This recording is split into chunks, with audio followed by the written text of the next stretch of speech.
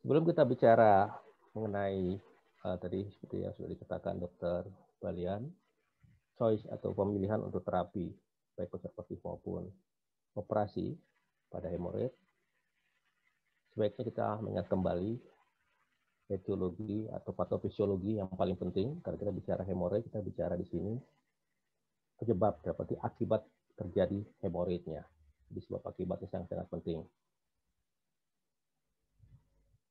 Ya kita mulai mungkin sejarah sudah tahu bahwa hemoroid itu berasal dari hematoreo bahasa Yunani yang pertama kali ditemukan Hippocrates seperti aliran darah atau saja jadi dengan kata lain hem to blood flow swelling. Jadi kata-kata ini yang dipakai pada saat ini pada yang disebut dengan penyakit hemoroid. Jadi sudah dijelaskan bahwa epidemiologi ini sangat sangat banyak di kalangan dan ternyata mempunyai keluhan yang selalu dibicarakan di pada pasien-pasien kita di mana pun. Data Depkes tahun 2015, Profesi Hemoroid Indonesia sebenarnya 5,7 persen, sama dengan statistik di luar. Ya, prinsipnya hemoroid itu adalah suatu kumpulan atau pelebaran dalam hal sini segmen ya atau lebih pendek hemoroidis di daerah anorektal yang mana dia bersifat kompleks. Jadi pada saat ini dikatakan dia bisa kompleks karena apa? Dia bukan cuma pembuluh darah, di situ ada jaringan lunaknya dan jaringan otot di sekitar anorektal. Ini yang kita sebut dengan fibrovascular lesion atau anal lesion atau bantalan fibrovaskular. Dan di sini kita nanti bicara hemoroid atau terjadinya prolap yang di mana kita tahu bahwa bantalan ini sebenarnya berguna untuk kita. Kenapa bisa terjadi prolap? Ya mau tidak mau karena apa penyanggah dan mati uh, jaringan sekitarnya sudah tidak tidak uh, baiklah dalam kata demikian. Jadi analkasen adalah jaringan normal pada analkes yang sudah katakan tadi ya berfungsi mempertahankan mekanisme kontinens defekasi pada saat tekanan intrarektal meningkat. Ini sebenarnya ada uh, gunanya.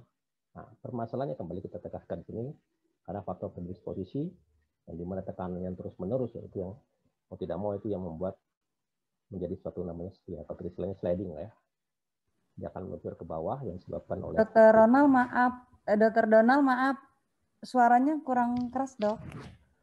Halo, kedengaran suara saya? Iya, baik, makasih dok. Ya. Kita ya, di, di, jadi karena ada sliding, analisis yang disebabkan oleh jadi kelemahan dari kerusakan dari jaringan dan penyangga di sekitarnya, sehingga terjadikan prolaps. Dan kita tahu bahwa kanal-kanal ya kurang lebih ya istilahnya uh, sekitar 4, 4 sampai 5 cm pada orang dewasa dan luman anal kanal terdapat tipatan konsa yang dikenal dengan garis mukokutan atau lidentata. Inilah kita sebut pembatas antara hemoroid eksterna dan interna ya.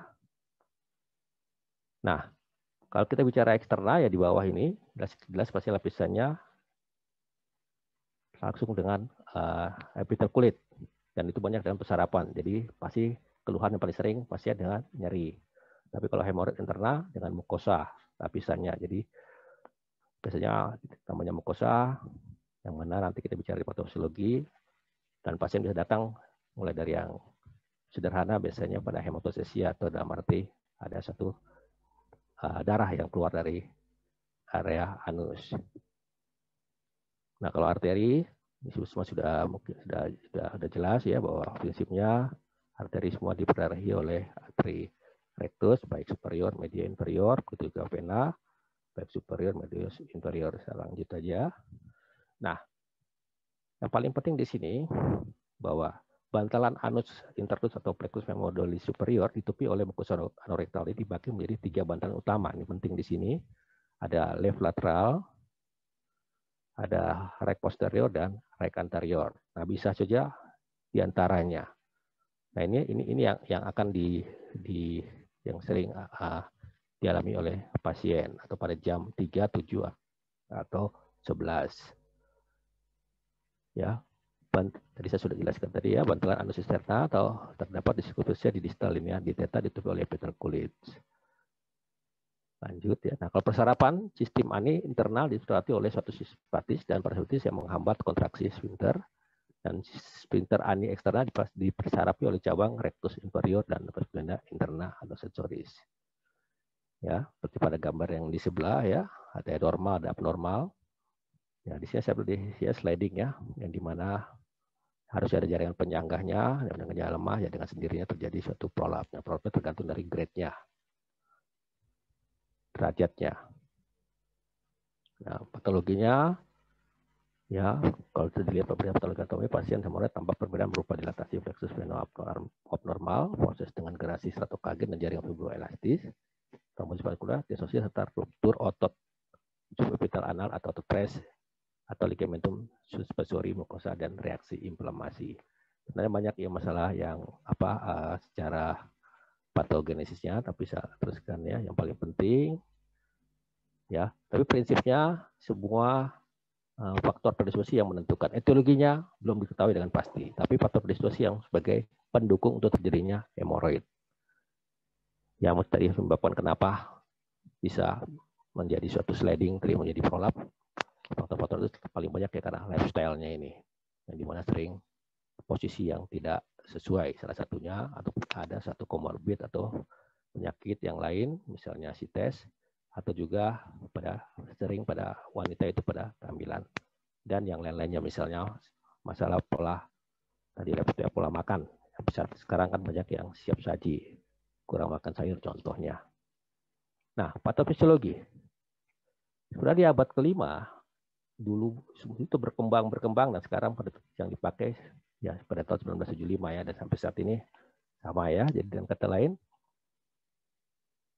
perkembangan patofisiologi dasar atomis ditemukan bahwa bantal hemoroid tadi didominasi tadi oleh oleh pembuluh darah yang mana Thomson tadi sudah mengungkapkan bahwa anak-anak terdiri dari tadi ya bantalan tadi hemoroid dan teori yang mengatakan adanya degradasi jaringan ikat pada bantalan hemoroid yang menyebabkan terjadinya prolaps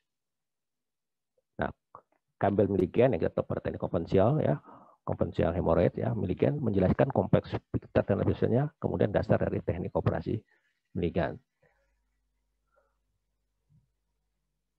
Nah, patofisiologi itu ada yang juga berbicara ada berdasarkan teori mekanik, ada teori berdasarkan juga dengan tadi apa uh, vaskuler, ya, ada vaskulernya. Nah, kalau kalau mekanik tadi saya sudah jelaskan tadi ya bahwa dasarnya terjadi kerusakan atau degenerasi jaringan penunjang muskulofibroelastis tadi atau itu karena apa? Ya tadi kelemahan penyangga karena penyangga yang harusnya pantra anus, itu tidak meluncur lah dalam arti ke bawah yang terjadi peningkatan tekanan intrarektal tadi ya.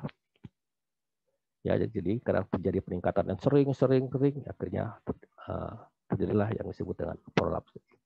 Kebiasaan ini terjadi karena chronic staining Tadi saya sudah ya seperti seperti seperti yang dijelaskan pada faktor predisposisi. Ada juga disebut dengan teori hemodinamik, ini teori vaskuler, hemodinamik. Nah, di mana mikrovaskuler anal kanal mengandung ya dengan sendiri ada hubungan atau uh, sun antara arter dan venus sehingga terganggu aliran akibat reaksi hormonal atau rangsangan fisiologis sehingga terjadi penurunan ke arah venaris itu. Ada darah pada plexus hemodialis mengalami stagnasi ya dengan sendiri jadi udem, bantalan anus makin membesar. Nah, stasis aliran darah tersebut dengan sendirinya dengan dengan ditambah dengan sendiri ter, terjadi uh, pelepasan mediator inflamasi terjadi peningkatan permeabilitas kapiler. Nah, permeabilitas kapiler yang menyebabkan suatu kerapuhan dan terjadinya yang kita sebutkan dengan misalnya uh, ada korsus pada pembuluh darah sehingga, sehingga pasien datang dengan istilahnya tadi apa uh, berdarah dengan keluhan hematosesia ya. Ya, termasuk juga ada yang bicara masalah sphincternya, teorinya, ya peningkatan tekan jaringan di dalam anak kanal sendiri. Nah, tadi sudah saya jelaskan bahwa patofisiologi intinya dari kebiasaan sering tadi chronic staining akibat konstipasi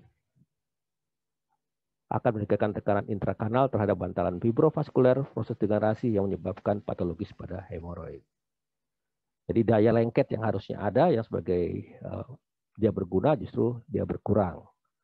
Ya, dengan sendirinya terjadi prolap jaringan hemoroid interna yang melalui trikanalis ani. Jadi dengan sendiri kalau bantalan fibrovaskular yang mengalami prolap, dia sendiri akan mengganggu aliran balik vena. Jadi makin makin makin bertambah. Nah, Kongesti hemoroid juga menyebabkan penipisan mukosa di atas sehingga vaskulasi meningkat. Dengan semakin menipisnya mukosa di atas bantalan fibrovaskuler, bisa kongesti, sehingga jaringan vaskular pecah dan menimbulkan pendarahan yang segar seperti yang sudah saya jelaskan ya pada saat defekasi. Inilah uh, patofisiologi yang apa yang sering terjadi. Jadi tindakan operasinya nanti bisa dilihat dalam ya, sesuai dengan uh, derajatnya. Ya. Tentu ada terus juga misalnya tekniknya, apa yang harus dikerjakan sesuai dengan karena dari patofisiologi ini. Ya, berapa juga menyebutkan bahwa sel mas memiliki peran multidimensional terhadap patogenesis hemoroid melalui mediator sitokin yang dikeluarkan oleh koda sel mas. Jadi di pada tahap itu hemoroid akan mengalami suatu trombosis yang akan mengalami suatu rekanisasi dan resolusi. Itulah pembentukan jaringan paru yang dibantu oleh basic fibroblastic growth factor dan sel mas. Ini juga salah satu teori ya. Ya ini tadi saya sudah apa uh, ya bagan ya tapi intinya kembali faktor ke faktor kebiasaan ini yang yang perlu kita apa uh, istilahnya edukasi kepada pasien karena kita tahu bahwa hemoroid itu bukan penyebabnya tapi dia merupakan akibat dari penyakit yang lain atau masalah yang lain. Jadi kita jelas bahwa tadi ada seperti tadi yang saya jelaskan pada teori tadi, akibat sering mengedan, kue konstipasi dan meningkatkan tekanan dalam intrakanal terhadap bantalan fibrovaskular, osidasi sehingga terjadi uh, terus menerus sehingga terjadi prolaps. Ini sama ya, bagan-bagan ini ini lebih lebih lebih jelas ya dalam, dalam secara patofisiologi ya. Tapi intinya sama ya seperti kayak saya, kita tegaskan teori tadi ya, baik tadi ya teori secara mekanik, teori hemodinamik, itu juga masalah kondisi daripada uh, sphincternya sendiri. Jadi apa harus dikerjakan? Ya mau tidak mau terapi yang dikerjakan pasti sesuai dengan apa yang yang dilakukan kayak misalnya prolap tadi ya kembalikan prolapsnya ke atas. Tekniknya sudah ada dan, dan tinggal apa yang yang dikuasai itu yang dikerjakan. Ya, tadi sudah jelas tadi masalah prolapsnya.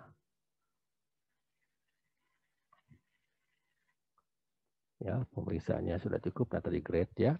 Jadi intinya kembali bagaimana uh, penanganannya sesuai dengan grade-nya tadi. Apakah bisa dilakukan suatu tindakan operasi atau konservatif. Nah tindakan operasi tergantung daripada uh, mana yang bisa di, sesuai dengan uh, klinisnya sendiri dari pasiennya dan itu juga apa yang yang dikuasai oleh ahli uh, operator tersebut ya terus saja. Ya. Ya pilihan operasi mungkin yang akan dibicarakan pada hari ini. Baik yang konvensional baik maupun yang tindakan seperti laser atau yang yang non harar dan, dan itu juga dengan uh, stapler. Diagnosa banding jelas semua sudah ya jangan sampai ini ini ini kita lewati. Makanya pemeriksaan pemeriksaan fisik sangat sangat sangat sangat penting pada saat kita menentukan apakah ini suatu hemoroid atau bukan. Dan sampai setelah apa eh, ada sesuatu yang kita miss di situ. Mulai dari yang sederhana sampai dengan memerlukan satu tindakan fotoskopi dan kolonoskopi misalnya. Demikian. Komplikasi jelas pasti ada komplikasinya kalau kita biarkan dan ini sering ditanya sama pasien. Inilah salah satu komplikasi daripada prolaps daripada hemoroid tersebut. Oke, itu saja dari saya.